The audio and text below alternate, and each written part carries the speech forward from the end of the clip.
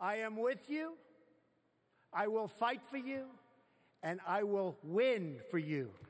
After formally accepting the Republican Party's nomination in Cleveland, Ohio Thursday, billionaire presidential nominee Donald Trump reiterated that his campaign has declared war on political correctness.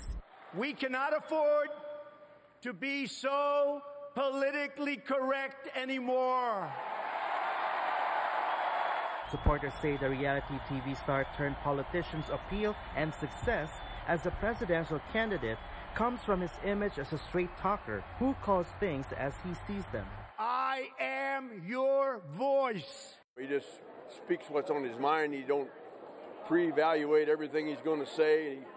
And most of all, he's going to take us away from all his politically correct stuff because uh, it's just gone completely out of hand. Some worry that Trump's war on political correctness runs the risk of offending people, but Republicans we spoke to at the RNC say there's no offense taken. Political correctness, I hate it. That's one of the things I like Donald Trump for because we have, you know, freedom of speech here, the First Amendment. I love the way he comes out. He's unafraid and he doesn't apologize. I would rather have somebody get the job done than to be politically correct. This Filipino American delegate says Americans should be able to speak freely without any consequences. You have to call a spade a spade. It's like these illegal aliens.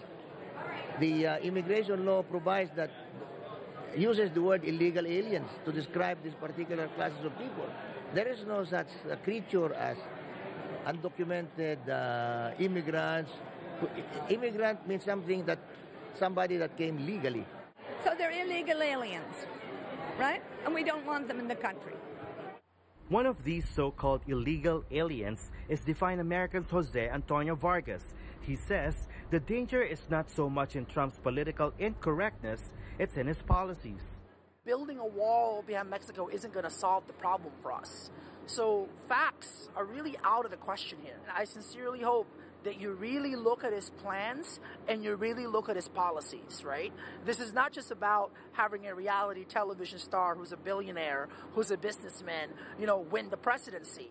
Trump's frank speech has brought him to the Republican nomination and has put the White House within his reach.